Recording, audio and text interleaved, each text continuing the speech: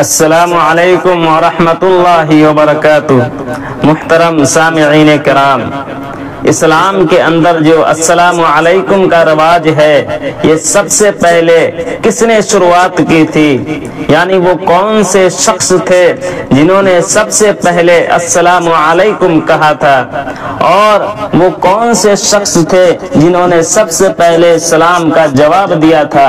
और वो कौन से कलिमात थे? अगर ये बात आपको मालूम है तो बहुत अच्छी बात है। अगर आपको ये बात नहीं मालूम है तो ये वीडियो आपको ज़रूर सुननी चाहिए। वीडियो को शुरू करने से पहले बस एक गुजारिश है कि पूरी वीडियो को ज़रूर सुने। इनशाला इसमें पूरी मालूम आपको मिल जाएगी। आइए वीडियो की शुरुआत करते हैं।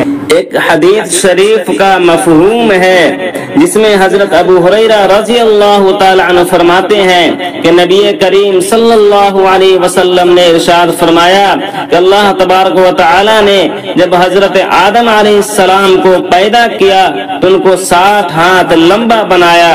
फिर फरमाया कि जाओ और उन उन मलाइका को सलाम करो। देखना किन लफ्जों में वो तुम्हारे सलाम का जवाब देते हैं। क्योंकि वही तुम्हारा और तुम्हारी औलाद का तरीका सलाम होगा। चुनाचा हज़रत आदम सलाम गए और कहा, अस्सलाम अलैकुम। तो फरिश्तों ने जवाब दिया, अस्सलाम अलैका व उन्होंने व रहमतुल्लाह का जुमला बढ़ा दिया।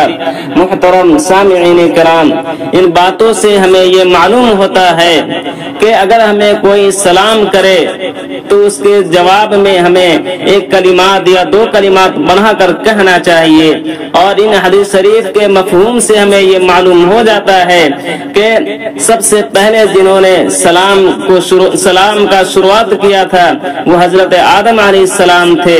और जिन्होंने सबसे पहले सलाम का जवाब दिया था, वो फरिश्ते थे। मैं उम्मीद करता हूँ कि ये वीडियो आपको ज़रूर पसंद आई होगी। अगर वीडियो अच्छी लगी है तो वीडियो को लाइक करें, अपने दोस्तों में, अपने रिश्तेदारों में ज़रूर शेयर करें।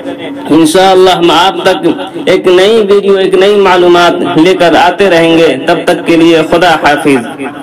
अगर ये वीडियो दीन के ज़्यादा जानकार तक पहुँचती हो, अगर इसमें कुछ कमी बेशी दिखी हो, इसमें इसलाह करने की ज़रूर कोशिश करें।